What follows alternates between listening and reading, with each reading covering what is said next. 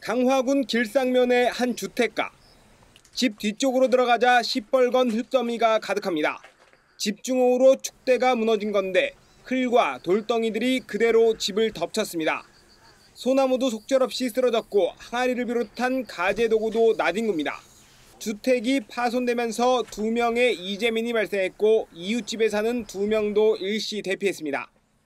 번쩍번쩍 하는 차가 석 대 나 와갖고 그래가지고 아유 뭐 이- 이상 있나 보다 그러면서 이제 그랬지 그 집에 저기 뭐야 산사태 나가지고 그로 들어왔대요 그러면서 그러더라고 영종도의 한 들판.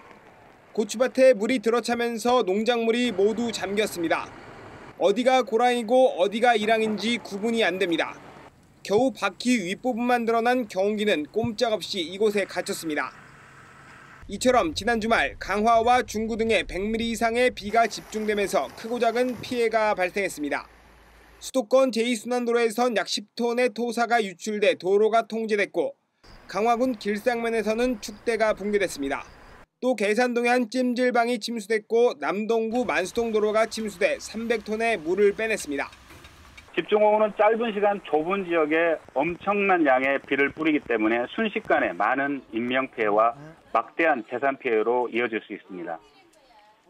시민 여러분들께서는 실시간 재난 방송을 잘 청취하시고 다시 한번 집 주변에 위험 요소가 없는지 꼼꼼히 살펴주실 것을 당부드리겠습니다.